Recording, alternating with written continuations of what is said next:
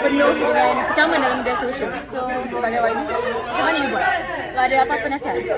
So saya selaku yang bertanding kesampaian saya bertekankan kita semua akan um, alami kekecewaan ataupun mungkin kecaman dan penting untuk kita pertama ambil sikap berempati.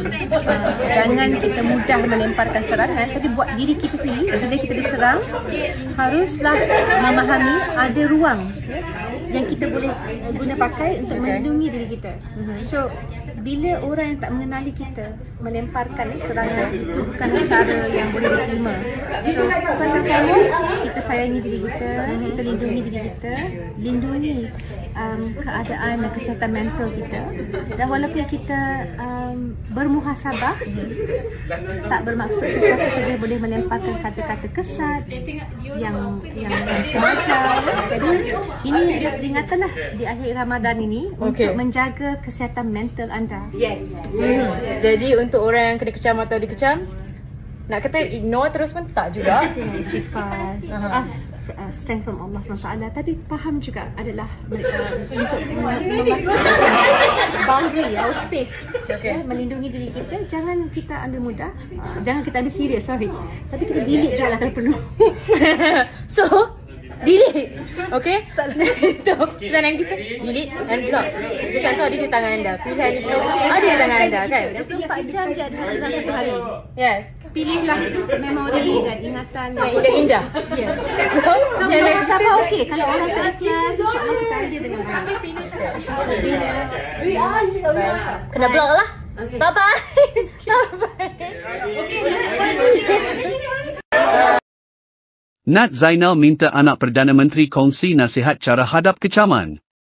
Pelakon jelita, Nat Zainal meminta nasihat daripada seorang ahli politik popular, Nurul Izzah yang juga merupakan anak Perdana Menteri Malaysia, Datuk Seri Anwar Ibrahim berkenaan cara menghadapi kecaman telah berjaya menarik perhatian ramai.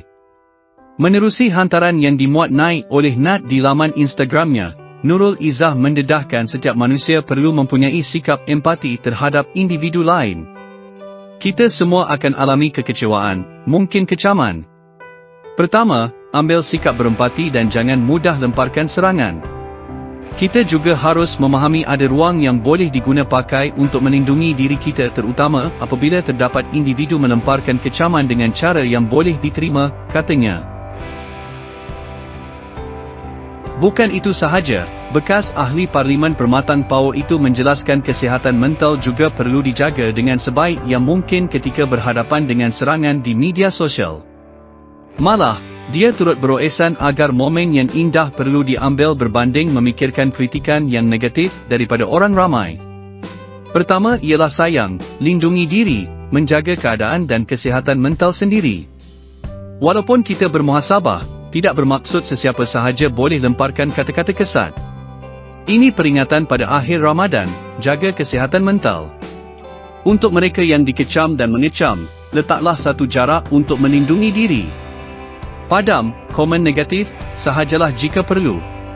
Sehari ada 24 jam sahaja dan pilihlah memori dan ingatan yang indah, ujarnya.